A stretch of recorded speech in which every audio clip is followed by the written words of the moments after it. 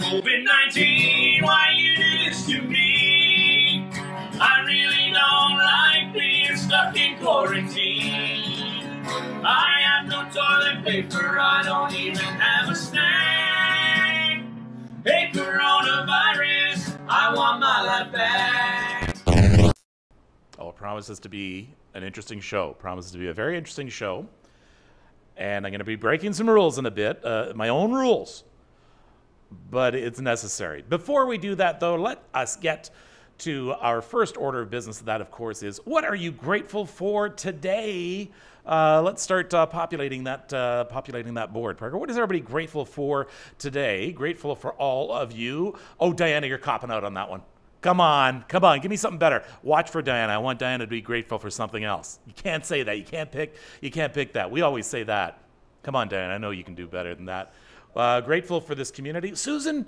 Okay, all right, we'll take it. I'm grateful for Kevin and Parker for doing this every night. We we appreciate it, and I'm grateful for all of you as well. I'm still waiting for Diana. I want to know something that you're grateful for that you saw or heard today or did today. Being alive, honestly, Aaron. Yeah, grateful for this show, Bernice. Uh, let me see. Mike Robin, I'm grateful I'm accountable for my own behavior and I'm not accountable for the behavior of others. That, you get it. You get it, my friend. Uh, what else do we have there, Parker? Grateful uh, for the weather today. I was able to weed without being attacked by mosquitoes. Uh, what else? We'll, we'll do about three or four more. Sunshine and nice weather. I like that one. What else? Seeing my family at a distance. Yeah, okay. Grateful for my neighbors from Donna. Hi, Donna. Grateful. Okay, there you go. Diana, grateful for some peace and quiet today. Okay, be grateful for that. We have one, I think, from the goat line as well. Sandy has something definitely to be grateful for. Hi, Sandy. Hi, Goat Line. It's Sandy calling from uh. I'm just going to say shout out to some friends today. What a great day. I have a disability, and some friends uh, went and got a tank for me from uh, Costco, filled that up, brought it over, and another friend picked up some herbs from the uh, garden center. Isn't that wonderful? Question mark. It just totally made my day. Anyway, cheers. Take care. Be safe, everybody. Uh, I love that. I love that. So, thank you to everybody for, uh, of course, taking part in that as always. By the way, coming up, uh, well, I'll tell you about it right now. I got a new email address for the show because First Day for Your Mental Health was just a lot, it was too long. So, the new email now is kevinsisolators at gmail.com. Kevinsisolators at gmail.com. Comments, thoughts, ideas. I use a lot of your ideas on the show. A lot of people who I've had on the show are, are people that you have suggested. So, kevinsisolators at gmail.com. So, uh, feel free, feel free. Like I said, I'm going to be breaking a rule today. Remember, I told you when we started this show 71 episodes ago, can you believe that? I said this is all about positivity. This is not about bad news. You get bad news anywhere all day. It's giving us anxiety, it's giving us stress. But something is giving us all anxiety and stress is that and that is seeing what's happening with the riots that have turned violent south of the border. And um, it, it, it is sadly distracting from the main message of what we need to talk about, and that is the racism. That a human being, you know what? It, let's really bring it down to that. A human being was killed for no reason. And that message is being lost sadly in, in all the, the rioting that is going on. And as usual, what's going to happen is police and the armed forces move in, they restore order. People pay lip service for a few weeks. Politicians say this will not stand anymore. And then it just goes back to what it was. And then another black man will die. And there will be more riots and more complaining. And the same thing will happen. It will play itself. It's not working. It's not working. So I need to speak out. I need to say something because we need to try something different. And hey, what about talking and listening? What about getting past all the anger and changing something because it is systemic. This system has been has been built so that it favors old white guys like me. I don't care what you say, it does. And it's wrong. And it needs to change, and we need to change it. Politicians say they're going to change it, and a lot of them are, are very well meaning, but they're only going to do it if you want them to. And I need to speak to all of you because there's a lot of us who either feel we, we, we don't belong in the debate, or we don't feel we can speak about it, or we're worried about being misunderstood, or we're worried about offending. No, we got to put that aside. We can we cannot have that a, another human being subjected to treatment an animal doesn't even get. So it's going to be an interesting show. I don't know how I'm going to do on this. This is out of my comfort zone. I'm going to try and and and and and be as I don't know unoffensive as possible. I, I, I don't know if that's possible, but we need to talk about it. We need to have a we need to have a talk about it. Not a debate. There's no debate necessary. We know it's wrong. We need to change it.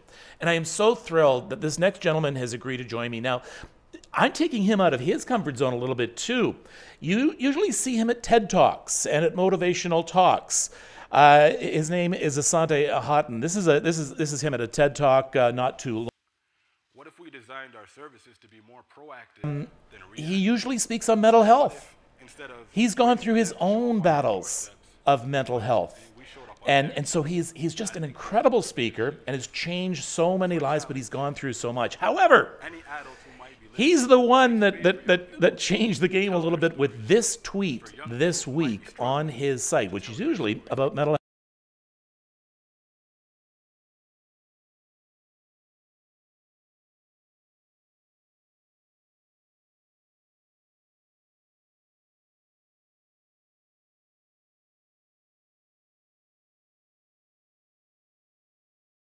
Me right now, and I am thrilled you are here, Asante. Thank you for joining me tonight. Thank you. Thank you. I appreciate it, Kevin. Um, I'm really happy to be here to have this conversation. What is, and I'm writing it down because I, I don't want to remember, I don't want to forget it. What is performative activism? For me, uh, I would define performative activism as saying that you are against certain ways in which people are discriminatory and living a life where you are not challenging any of those forms of discrimination. So you're just, you you feel that you are, I mean, it, it, back in the day, we used to write letters to the editor. There, I've shown them. So now we, we go on social media and we say, this is terrible what's happening in Minneapolis, and this is terrible what happened in Washington. But we, we leave it at that, and then we go back, we go back and, and don't do anything about it. And that's not working either, is it?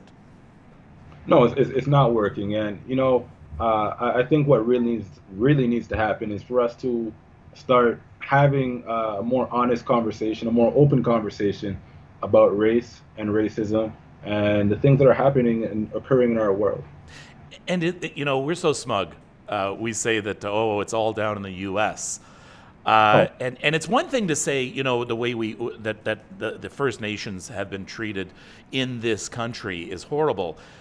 But let's not fool ourselves. The way that black people are treated in this country is horrible as well.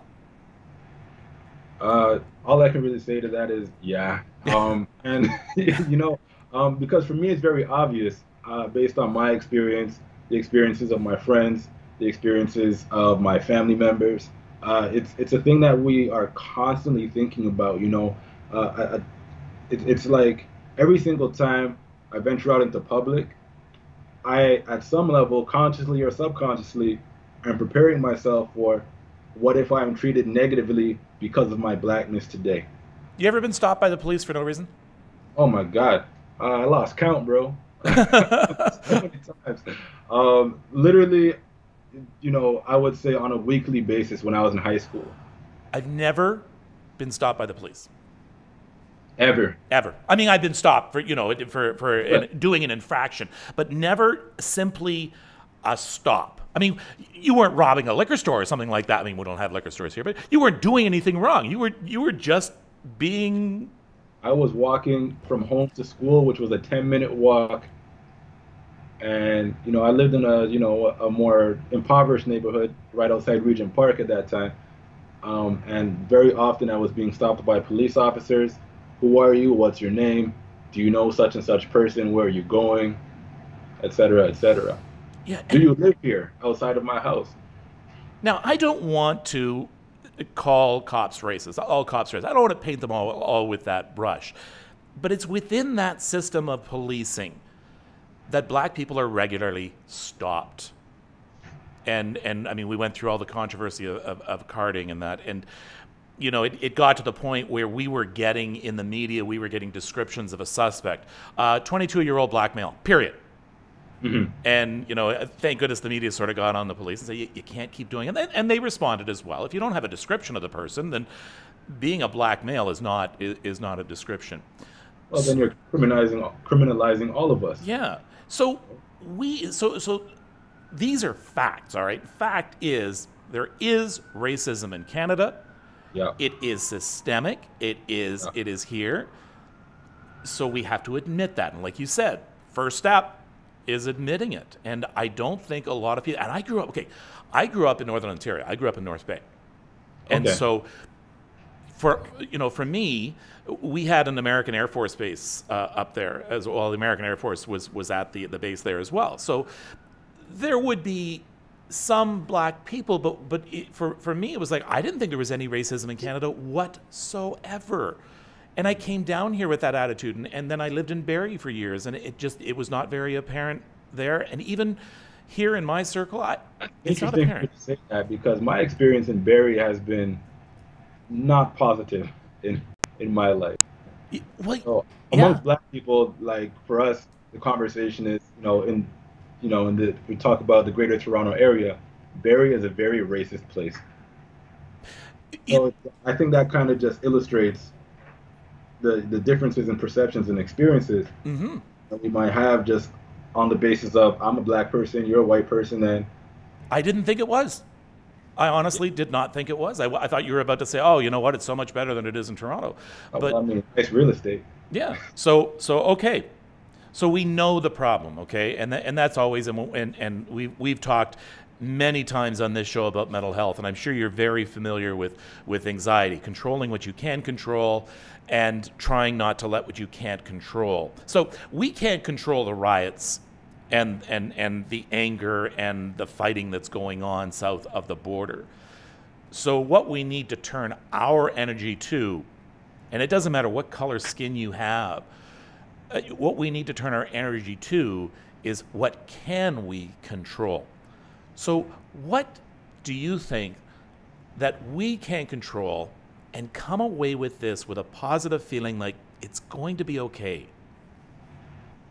Well, you know, uh, I, I think that a big thing that we can really do is the same way that we are starting to normalize the conversation around mental health is starting to normalize the conversation around race and racism.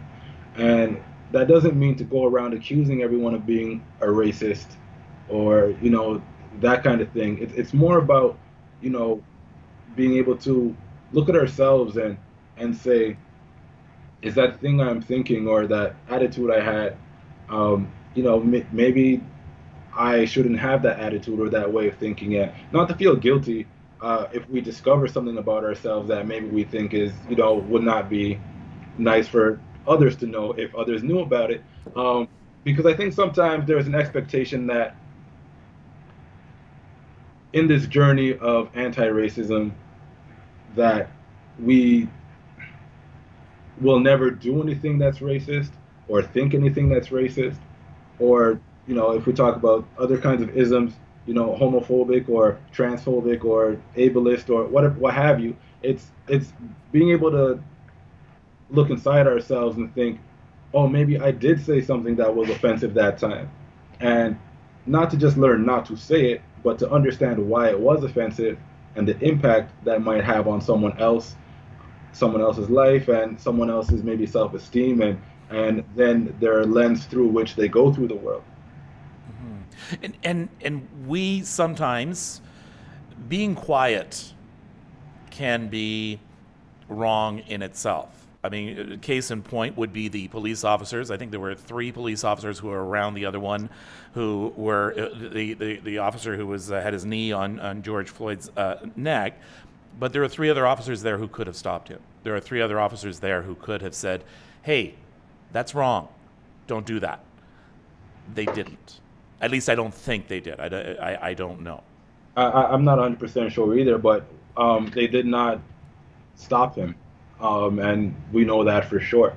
Uh, and and I think that's a big piece of it too is that, um, you know, for many years I, I thought to myself, well, I'm not homophobic, but you know, my friends are saying this and making that joke, and um, then you know, I was once confronted about my allyship and what that meant, and I started to think, wow, I need to step up and and be brave and maybe say to my friend that, hey, that's not cool what you said.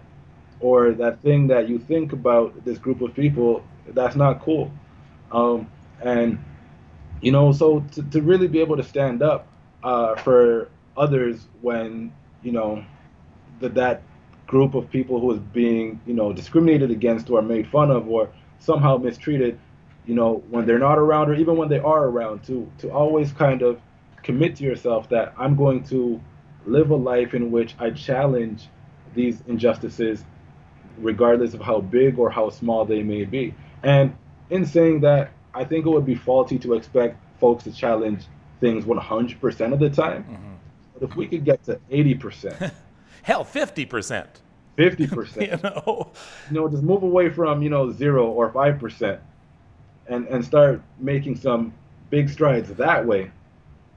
Then I think, you know, we we start to um, have honest conversations and sometimes, many times, it probably will be uncomfortable.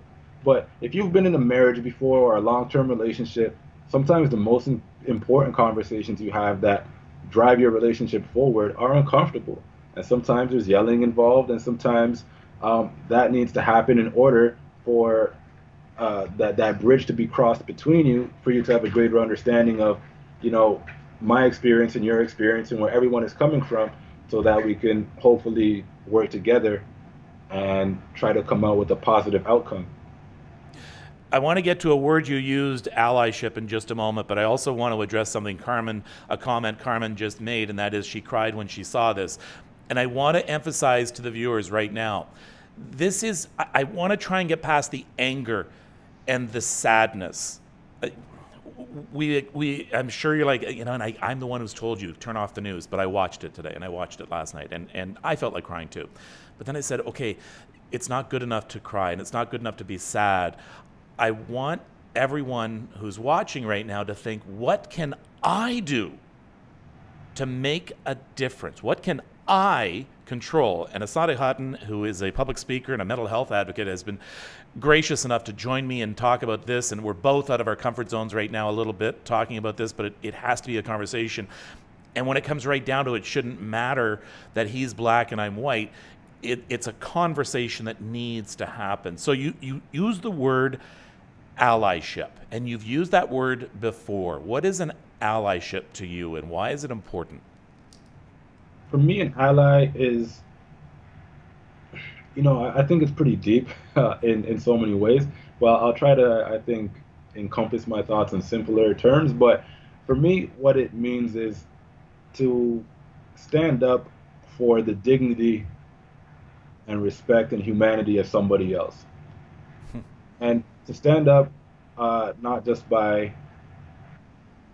yourself believing, or or you know, I think for me, like like I was saying before, it's easy for me to kind of stand within my own values and say I'm not that person, and that's great. You know, don't be that person. like don't.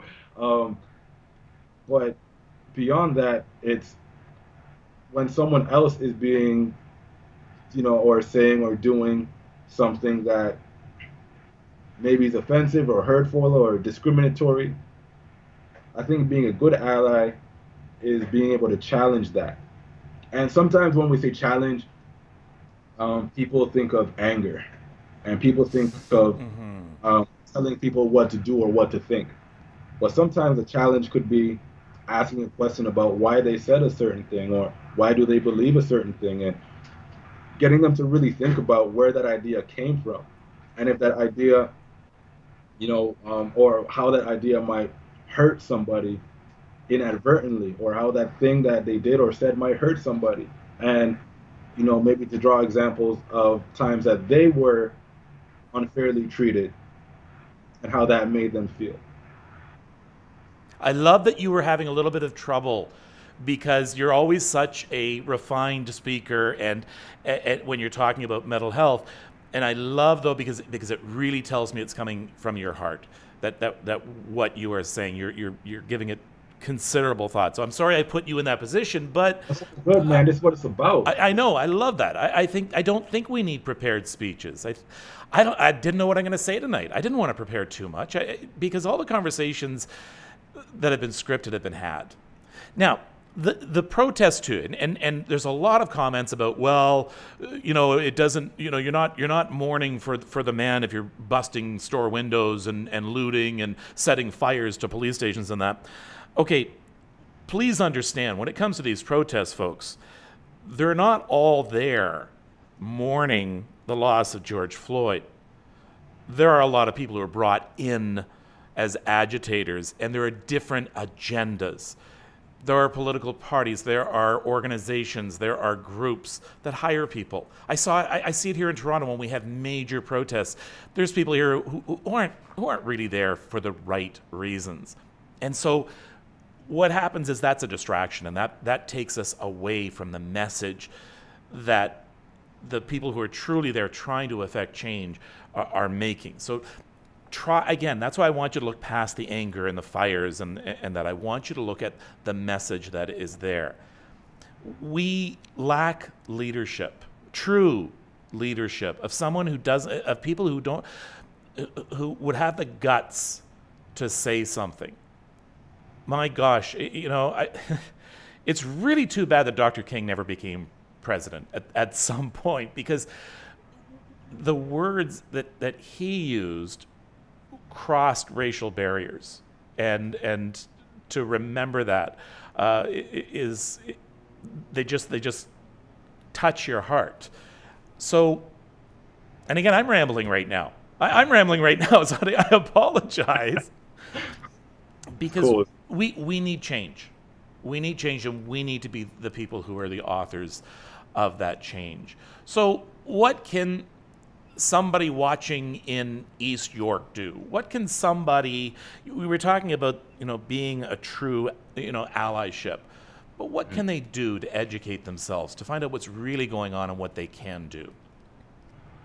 You know, um, I think before I hop into my answer to that question, I, I, I just want to say a couple things, um, which are to say that, you know, as much as we revere Dr. Martin Luther King right now, uh, when he was alive, um, during the civil rights era, he was not a super popular person uh, amongst um, you know a lot of white folks, and um, so just to remember that sometimes saying the right thing is going to be hard, and you're going to be challenged by it, but you may make a change. Um, or doing the right thing might be hard, but you may make a change. Um, in terms of the protest, um, I think a thing that I think black folks and others who are oppressed but right now I'm speaking about black folks, is uh, that we experience is we're often told the ways in which we should be angry or the ways in which we should be, uh, you know, protesting or raising awareness to an issue. And, um, you know, it, it seems like, you know, we, we have tried peaceful protesting and we have tried uh, a myriad of different things. And I think what we're seeing in the United States right now and to some extent here in Toronto today, uh, our individuals, or though in Toronto today our, our protest was peaceful, so no, thank you for that.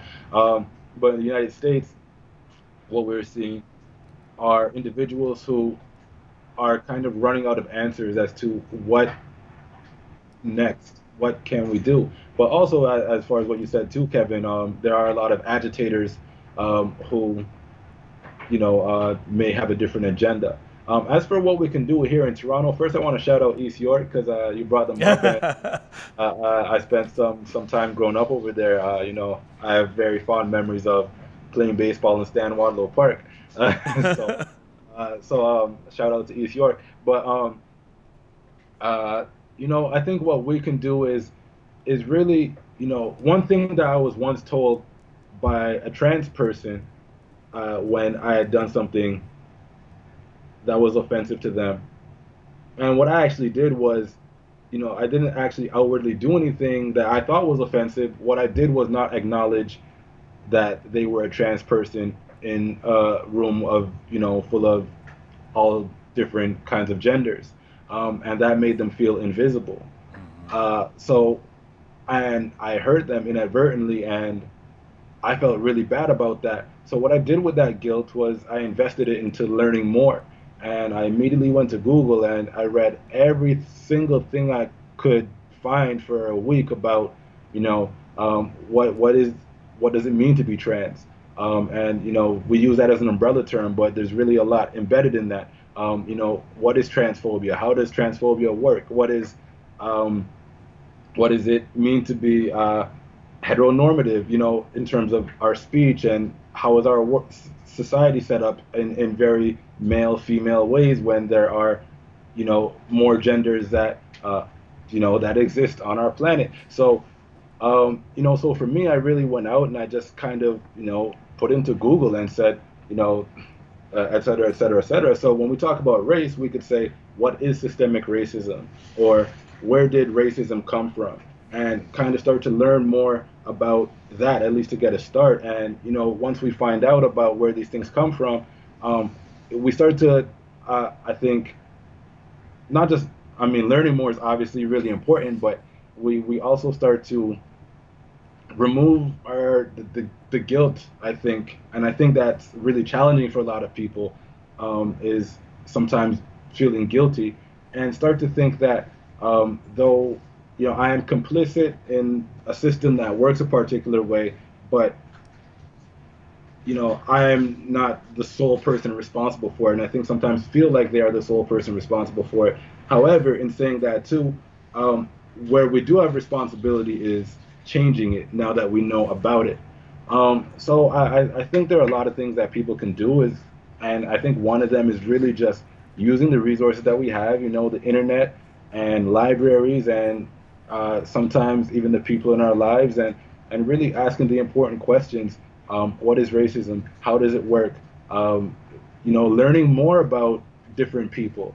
Uh, so if you don't know anything about the history of black Canadians or the, the history of immigrants coming to this country or the history of First Nations people in this country.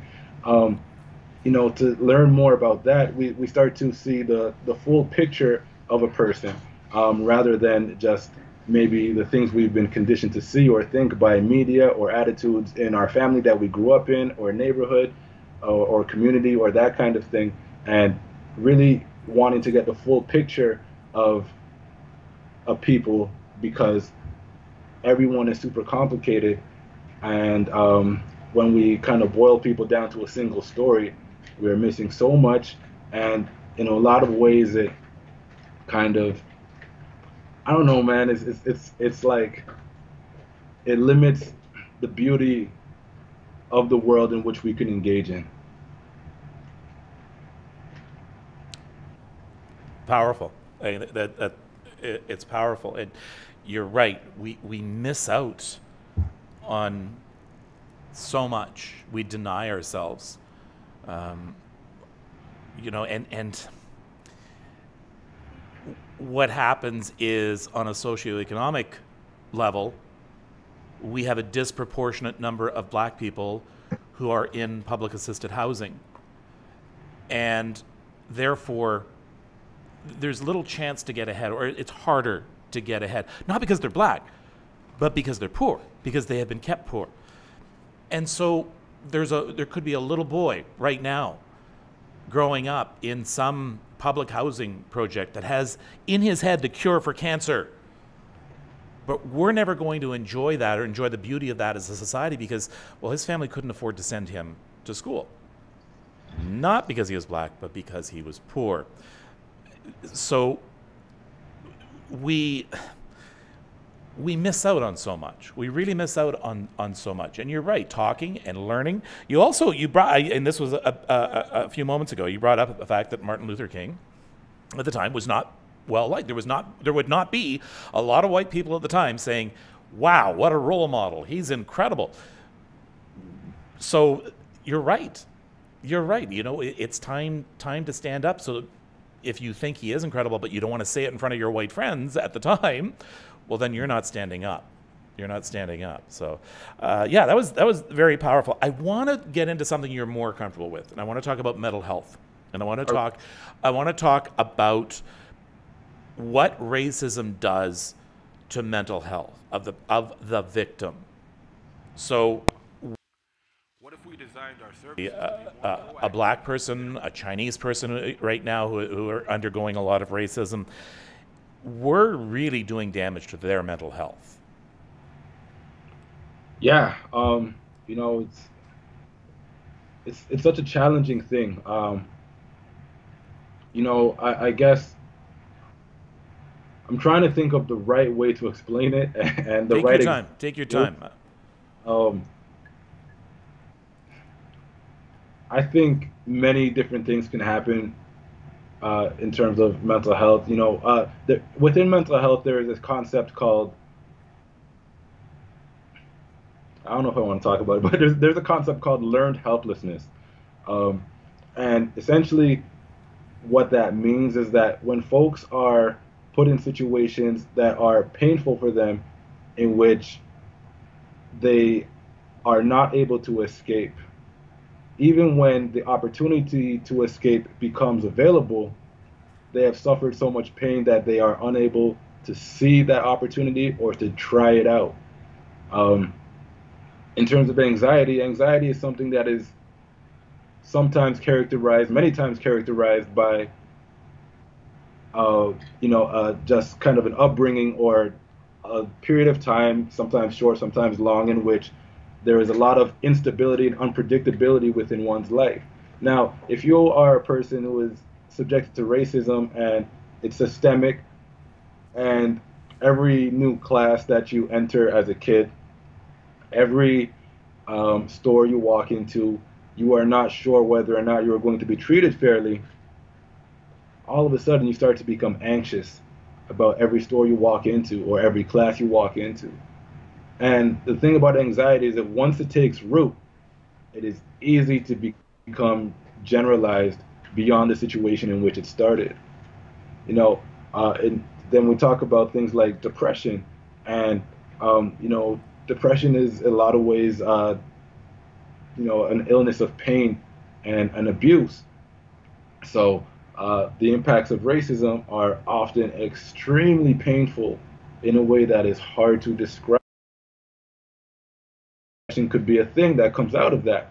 Um, we talk about uh, other psychiatric disorders um, that involve maybe individuals who are perceiving rea- perceiving reality differently, hearing voices, seeing things that aren't there, experiencing delusions, and oftentimes individuals who experience those things, um, it, it's really you know there has been a lot of stress in their lives, uh, and you know what they kind of sometimes reach a tipping point, and when they do, um, all of a sudden they just it's it's like that person who's homeless on the street, um, who we might say is you know quote unquote crazy or nuts. Maybe they didn't start out that way, but being on the street long enough, the stress of living that way has caused them to crack, right? So um, and I, I and I think sometimes many of the things that you know uh, black folks are sometimes vilified for, whether it's oh this person isn't doing anything for themselves or uh, they're smoking too much weed or drinking too much or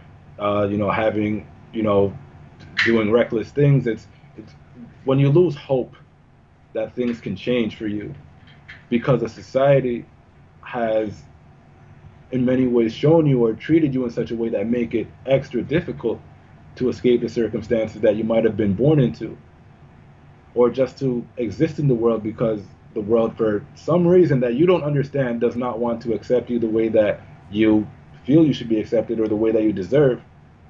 It's easy to well, you know i won't say easy but there are times when you know you, you kind of say F it. And you, you start to do things that um, may not necessarily be the most productive things for you in your life and your future. And then it becomes a self fulfilling prophecy. Well, if, if someone thinks that I am useless, then I will be useless then. And and I've heard that from people living on the street as well. Sorry, Kevin. It's, it's not necessarily that I think Okay. I'm useless. It's that I've been treated as if I am useless. Yeah. But would, So I- but would you I- not would you not agree though that that at some point then you're saying well if I've been treated that way and I'm constantly being that way I might act that way yeah, you know, it's it's, it's kind of again, it for me it just comes down to that that loss of hope, and I think hope is such an important thing. And Oh my you know, gosh, yeah. Talk, uh, you know, if you watch the one that you've been showing, if you watch that TED Talk, I talk so much about hope, Mhm. um, uh, in the poetry and the way I deliver, and for me, going through all of the things I've gone through in my life, we haven't spoken about them too uh, directly here, but you know, extremely impoverished here in Canada. Um, you know, the single parent family. You know, my mom became extremely mentally ill uh, right before my grade 10 year started. She was in and out of the hospital, suicidal. I had my own mental health challenges, um, etc. You know, all, all of my friends were getting arrested. Um, you know, uh, I was dealing with, I I was going to a school where, you know, the school's main objective was kind of to keep kids out of jail and get them to grade 12 um, and to get them to graduate, not to send them to college or university.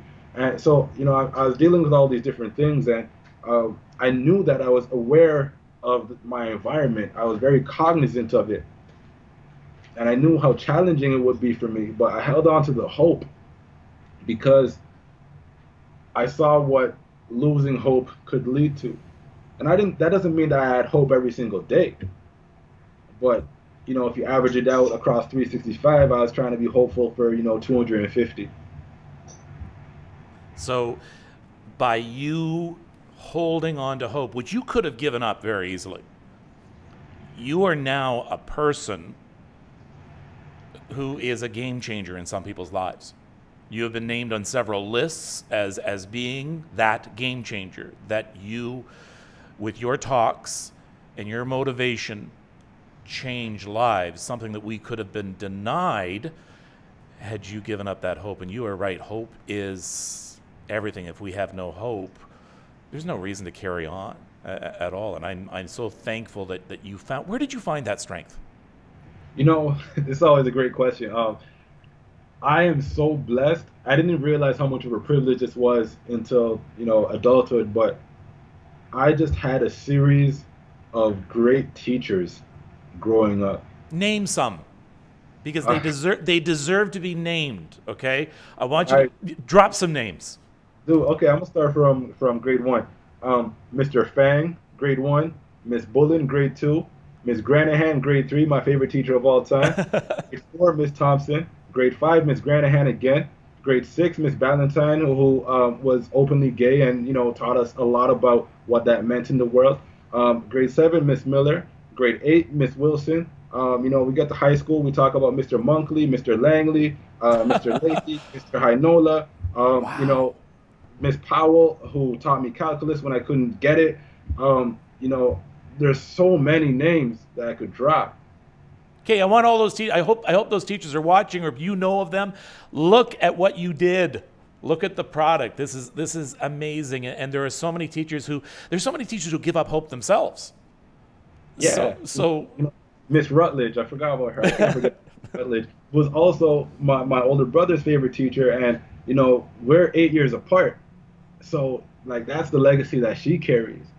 all right, um, now now name the jerks. No, no, no, no, no. I'm kidding. No, you know, you know what's funny is that I'm so lucky that I could really only name well one one name I forget, but you know, there there's a I'm not gonna name any names. No, I'm not no, here no, anybody. You know what I mean? But there, there are only really two who I could say, damn, I wish I never had those teachers, yeah.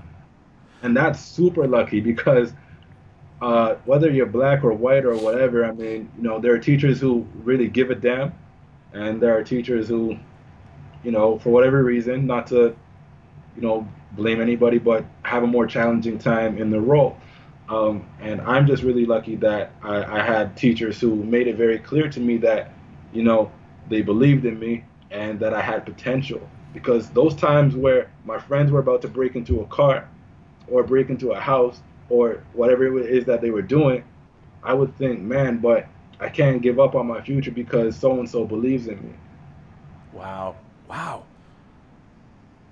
Man, that's powerful. Um, we talked earlier about the trans person who you you offended unknowingly, and they brought it to your attention. And then, what I want to point out is that sometimes, though, this talking and this communication, unfortunately, sometimes can be done the wrong way. So I don't know how this trans person uh, reacted to you, but it can't be done with anger on one side because if we say something and we're called on it, but we're called on it angrily, our reaction is going to be to dig our heels in and react angrily. So we have to have open. We talk about communication and conversation. We have to have open conversation, open communication, and this is this is true in in, in no matter what. So that I could say something, you know, Asante, you did this to me, and I need to be forgiving enough to to allow you to say, oh, you know what, I'm sorry, I did that. I didn't understand what what I was doing, and and back and forth we're just not very good at that. You know, we're just not very good at that. You, know, I think one thing for me is that I, I don't like to label people. And the reason I don't like to label people is because I, you know, and some people, you know, might think I'm idealist or stupid or whatever for, you know, thinking this and saying this is I really do believe people can change and attitudes can change. And, and I believe that because I've seen it uh, in my own life. Uh, re- with regard to that, uh, the trans person who um, did not call me out, but called me in, so to speak, um, is what they did was they did not label me as transphobic. What they did was they told me what I did and how it made them feel and helped me understand, you know, well, not even didn't help me understand. They really just told me what I did and how it made them feel. I had to do the work to understand, right?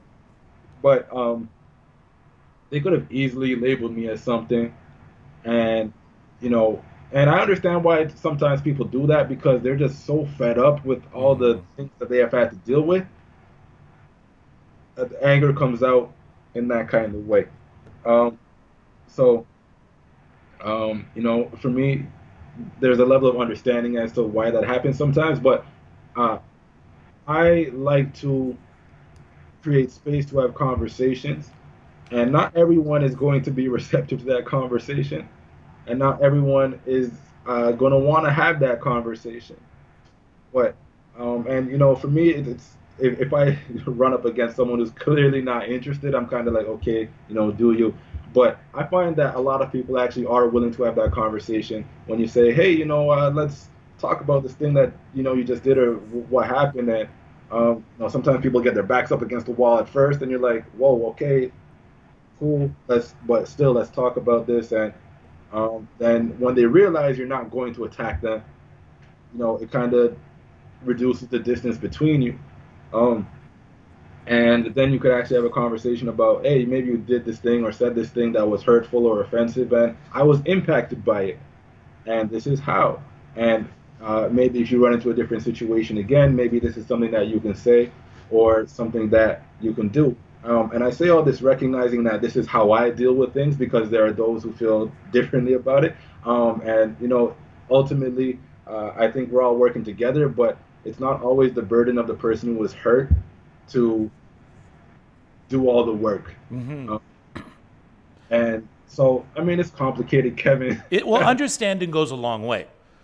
So yeah. if if let's say you and I were were walking by your old school and a, and a cop pulled you over and, and or, or stopped you and started talking to you, but not me, and then walked away, and then you were just like so angry. And I go, "What's your problem, Asante?" He just was asking you a couple of simple questions. Not, you know, I have to be able to understand to say, "No, but this has happened over and over and over." And what, you know, why?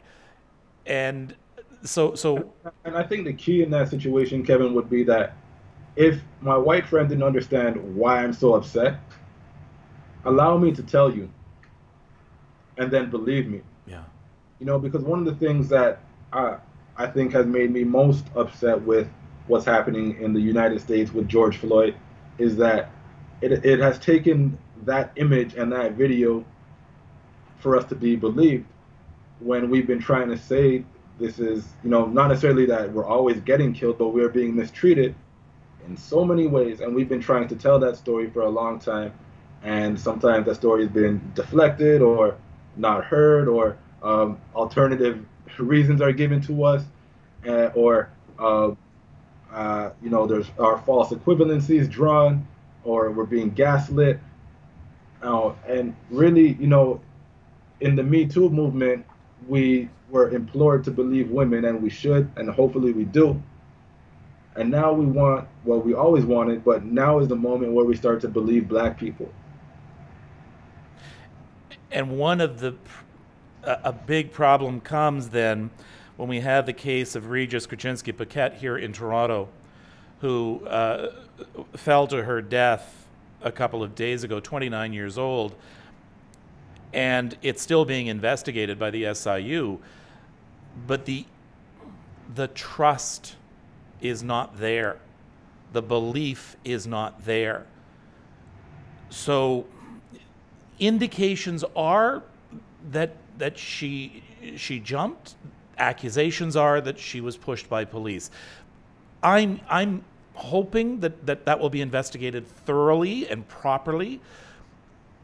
But people are not going to believe and trust the outcome of that investigation one way or the other on both sides because we've lost that trust, we've lost that faith that the system is out for everyone and to support everyone because it's not. And that's very, very sad. And, and I think what you are speaking to is one of the ramifications of what racism, the impact it can have on our society. For sure. For You know, I, I don't want to talk too, too Yeah, I, much. I know. I know. And, and and that's and I, and I say that because you know I know people who actually know the the young woman uh, who unfortunately fell to her death. So I don't want to really disrespect anything that they stand for or um, what they have done in response.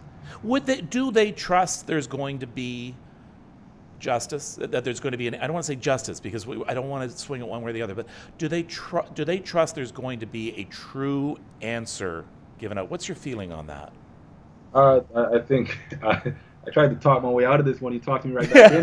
I'm sorry I'm sorry man Um, well, I would say, you know, frankly, I would say the trust isn't there. Yeah, My answer not. would be no.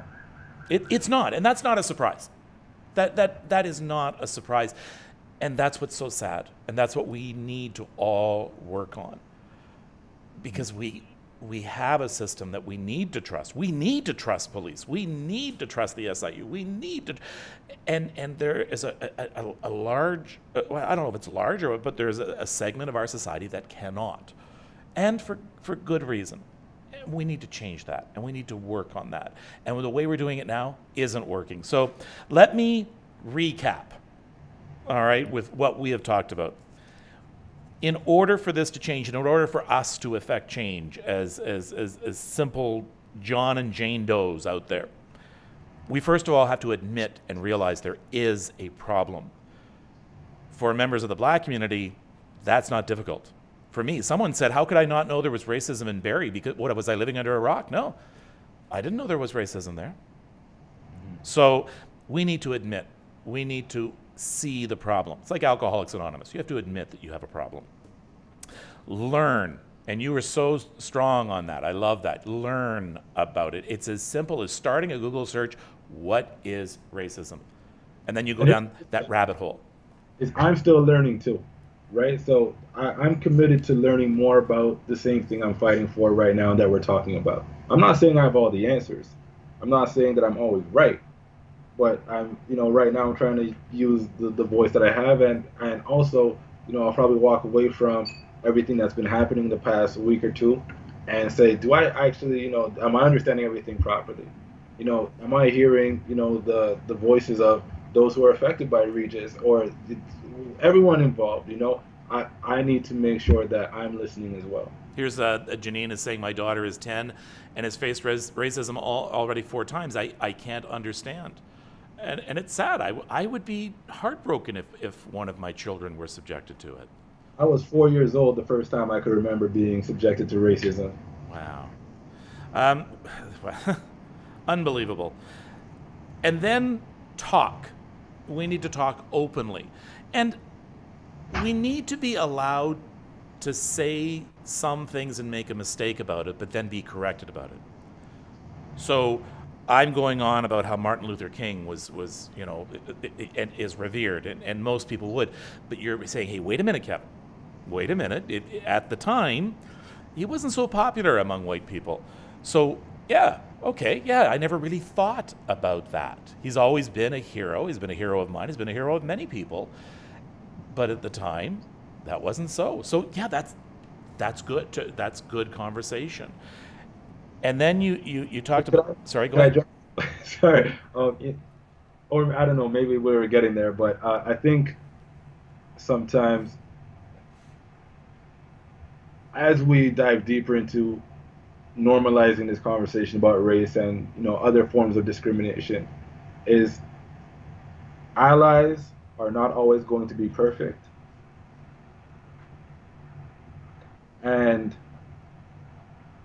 they will, you know, we, I was going to say they, but we won't get better if we don't grow together. If you understand what I'm trying to say. I, this is okay. This is what I think you're saying, and so please correct me if I'm wrong. Yeah. You're saying that if someone, well, let's just call it for what it is, okay? Let's call it for what it is. White guy comes up to you and is just Asante. This is, you know, I, I see, I hear what you're saying. You're saying this, this, and this uh, and it, it's, uh, uh, you know, you people have had, had it so tough.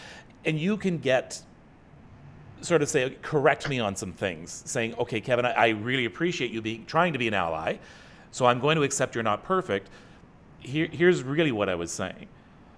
And then you know, go back and forth. I don't even know if I paraphrased that that that correctly, but no, so I, mean, I, don't think we, I, we, I don't think either of us did a good, good job. but we're both we're both we're both horrible public speakers. It turns out. so, uh, but I mean, really, for me, it's like I've been in situations where you know I, have been at a party and you know maybe my white friend invited me to a party and there's a lot of white folks and not that many you know non-white folks that white folks there and you know maybe someone said something to me and I, I could be like you know eh, but does that mean that they're a 100% bad person I don't know that. I don't know this person that well. They might have just said something that was, you know, offensive to me, and maybe it was something that they didn't realize was offensive. So I'm like, hey, you know, dude, like, maybe you know, sorry, just don't say that. yeah, you're you're going to give them the benefit of the doubt that they didn't do it as, as a racist comment. They just did it because of, ign- of of ignorance, and ignorance being a true term there. I don't mean they're ignorant, but they're ignorant mm-hmm. of that being offensive. Um, and, and the difference there is there are those who will hold on to that ignorance when it's presented to them, and there are those who won't. And the allies are those who won't. Mm-hmm. Don't take offense to it. I remember once, and this is this is small potatoes, uh, being at an event with a cameraman, and this is many many years ago, and he said, "Kevin, you know you have bad breath." Now, I I I took offense to it at first but yeah. you know what? I look back on that. He did me a huge favor. He was right. I had halitosis, eh, you know, so I, I got it. I got, I took care of it. But if I had stayed with being offended by it, then I wouldn't have done anything truly for it. And again, I'm sorry. I'm not trying to make a, a, false equivalency there whatsoever. I'm just I'm just saying that affecting change isn't always comfortable and we can't always feel you know get our feelings hurt because of it. Yeah, and you know what, what's interesting is as we were having this conversation, there's a part of me that's like uncomfortable. Like, am I representing the conversation properly? And and I think that's kind of part of it. And may, maybe, you know, but I'm still gonna have the conversation because it's important to have it. I could have said no, Kevin. I, I yeah, thank I, goodness you didn't. collect all of my thoughts yet. I don't know what I want to say. You know, you hit me up like three hours ago, and I was like, all right, that's because you didn't you didn't answer your phone earlier. That's why. That was funny. I was in the shower when you called. okay. no, and I, eh, you know what? And I thought it was important we had the conversation now rather than wait too long. So I really appreciate this. It's been my impression that you have represented the issues well, and and, and I and I hope that any transgressions you may have made or may have said something improperly will be forgiven by by people that that it, but but I think you know what you're you're you're helping in a conversation in talking. And we're not always going to be right in what we're talking about. We're exchange the exchange of ideas is that an exchange of ideas. So let's improve on your idea and then you improve on my idea and then I improve on and so on and so on and so on. But I think I think you've spoken from the heart. I I, I admire your your perseverance and and adherence to that hope that has made you what you are today. Uh, and and I know that you help a lot of people. What can we plug for you? A uh, website, uh, Twitter account. What what? Uh, because you you do a lot of public speaking. Oh man, I'm pretty terrible at self promotion, but uh, I mean, uh, I'm very Googleable. So I mean, you can Google me. Yes. It might be a hard name to spell, so write it down. Um, my Twitter handle is at Asante V. That's A S A N T E capital V. Um, Instagram nerdy.black.guy. Uh, Are you nerdy? I mean, I don't know. Some people say I'm cool, but on the lows, I think I'm I'm kind of a nerdy what guy. makes you nerdy? Oh, I, I've I've just always been into video games. so, so I think that's a big piece. Well, now video games are kind of accepted and cool, but you and I, Kevin, know that growing up, if you were like we're into that, it was like Yeah, yeah. So, um, but uh, yeah, uh, I'm, I'm just, I'm also, you know, really just curious, and I'm always trying to learn. Yeah. So I don't use nerd in the pejorative sense. No, no. Well, it, it actually is a badge of honor now. I mean, it, it, it really is to be a nerd. I'm a nerd. I've always been a nerd and proud. I've always been proud of being a nerd. I, I've always been proud of, of, of, of really, you know, going that extra mile and, and learning all the time and, and always looking up things. And I, I have so much useless trivia that, Asante, I, I, I could amaze you with that, or bore you to death with it, I should say. We should watch Jeopardy together. Oh yeah. this has been fantastic and and I hope that a conversation that you and I have had will allow others who are watching to have conversations of their own. And and I don't want people to have conversations, as you called uh, before, uh, performative, a performative activism, where you just oh.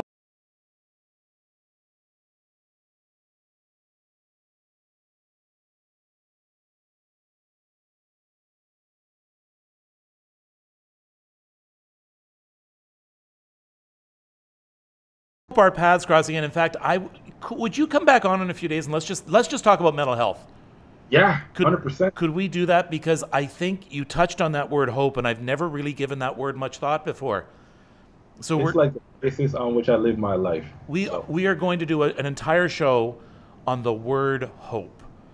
Let's do it. all right. Thank you so much asante. You stay safe. Very nice to meet you. nice, Uh, nice to meet you. handshake. nice to meet you too sir.